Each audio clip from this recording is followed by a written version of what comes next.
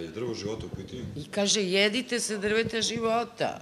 I sad to jedite, oni misle da moraju da jedu s polja. Ne. Drvo života je naša, naš kostor, naša os. Kost, jedina vidljiva tvar, kost, kost, zub, da je dovoljno lep, ja bih vam ga pokazala, ali za sad nije zubari su skupi. Ali šarla akrobata znači ima dva suprotna smera. A, e sad, osim Šarlo je trubadur francuski. Da? Pa samo za trenutak. Evo ovako. Trubadur. Trubadur, to je reči postaje telo. Šarlo. A zeleni čovek, zeleni čovek, anđeo sa zapadnog prozora, zeleni anđeo, to je ta naša borba sa svetom i hodanje akrobate po žici. A sada, šta je zagrizla Eva? E, to me interesuje, zato što sam čuo... Jabuku, kaže jabuku, samo nemoj jesti sa ovoga drveta.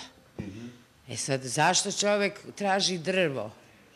Ako je drvo života taj kostur, onda verovatno postoji još neko drvo. I sad muškarci bi tu trebali hvalati puno. Da daju vatru ženi, međutim žena je dala vatru muškarcu i tu se pojavila jedna jabuka. A ta jabuka se pojavi samo kada je kostur po, pravilno postavljen i kada taj eros vatre e, napravi to drvo znanja, odnosno poznanja.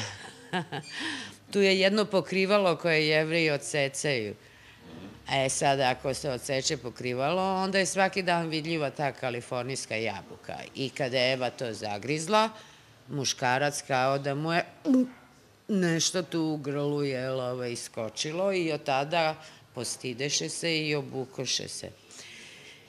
E, dobro, to su već trubadurske te žvake. Imaju, na primer, i građevinari, ezoteri, oni imaju lenjire, ove labele, imaju ove šestare, imaju te silne građevine, tajne znanja, zahvaljujući drvetu života koje je Eva zagrizla i probudila, jeli, kalifornijska jabuka vidljiva jedino kada su dva suprotna pola pod e, vatrom Erosa. Jel teško da bi isti pol ovaj... A pa moguće, moguće da isti pol.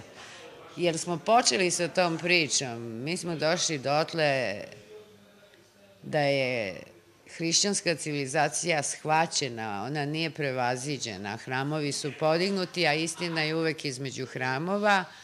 A šta je pobedilo? Pa pobedio je jedan narod, ali to neka ostane tajna, a pobedila je gej civilizacija. E sad ta gej civilizacija neka stavi sve amebe u bebe staklene tegle. Bebe amebe u staklene tegle i nek počne da pravi dvojnike, kiborge, ispod zemlje u bon stilu, koje kuda. Znači, sve što je važno više se ne spominje, reč umire. Naše dede su znale šta je drvo života. Onda Koja, koga je Ivica Vrdović napravio, je smislio disciplinu kičme, da nas podsjeti da naši stari su znali da ova tačka mora da je najbliža ovoj tački, da po 30 stepeni karlica mora da udari u rebra i da budemo aufinger, udica, kaput težak na ramenima, a ovo drži težak kaput i da imamo vrat. Naši ljudi više nemaju vrat.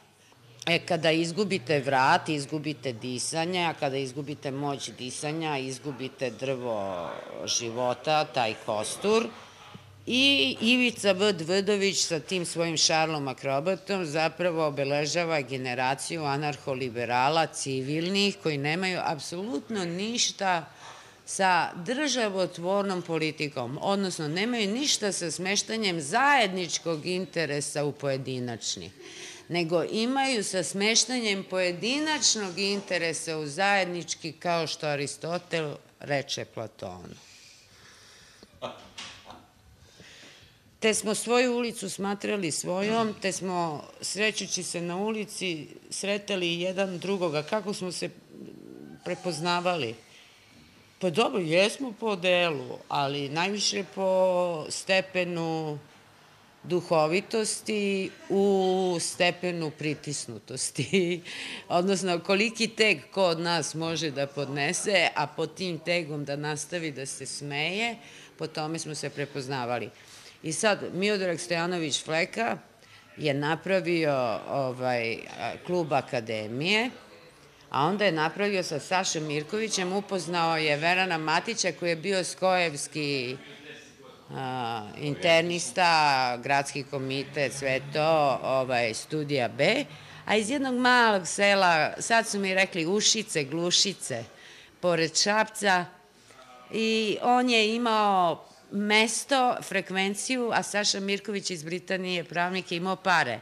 A Fleka je imao styling studija, odnosno radija B92 i Šišmiš nad Beogradom, zajedno Supernaute su bili jedini civilni otpor, jer naši mudri su već se predstavili gospodu Ivica i Vlajko, a ko je bio u to vreme kuvar. Onda je i Milan otišao i predstavio se gospodu i stvarno, osim Supernauta i Fleke.